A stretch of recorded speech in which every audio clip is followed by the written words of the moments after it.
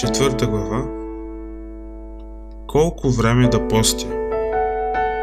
Сега стигаме до въпроса за избора на време за постене. Моят съвет е не започвайте с много дълъг пост. Не започвайте с седмица, две седмици или 40 дни. Някои хора го правят и успяват, но смятам, че е по-добре да започнем да изкачваме стълбата стъпка по стъпка. Проблемът е, че ако започнете с твърде дълъг период и не завършите, после се чувствате победен и можете да се откажете и никога да не опитате пак. Бих ви предложил да започнете с първата стъпка. Ако не сте запознати с поста и не се чувствате способен за голям изпит, започнете като пропуснете последното ядене на деня.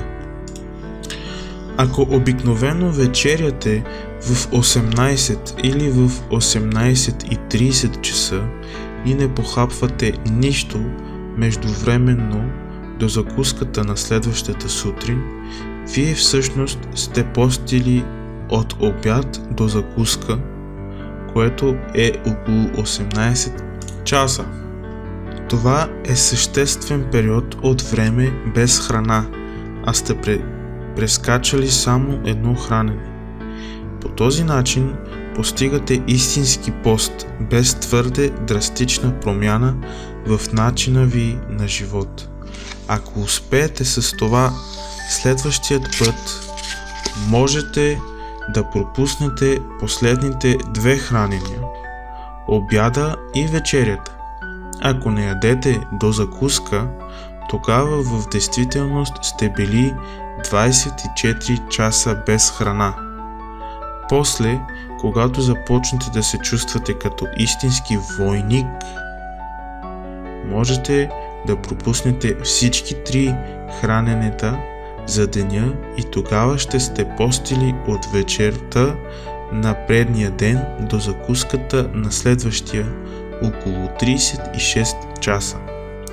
Веднъж след като постигнете това и знаете, че можете да го направите, тогава е време да потърсите Бога дали Той иска да продължите с по-дълъг период. Отново ще ви посъветвам да не предприемате твърде голяма стъпка първия път. Постете 3 дни или една седмица.